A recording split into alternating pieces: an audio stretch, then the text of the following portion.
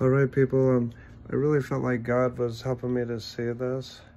That basically, when God created this molecular world that we see around us, that uh, He was adding another layer or realm, dimension to heaven.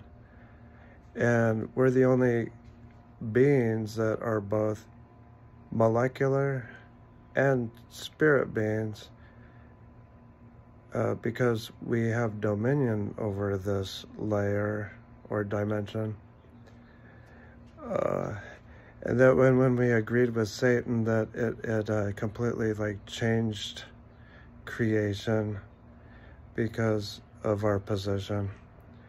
But I just really got hopped up on that, that just that reality that uh, as we, uh, as being reconciled uh, back to heaven that we get the privilege of changing the molecular world around us, being mystically unified with the second Adam, Jesus Christ, and everything he paid for on the cross.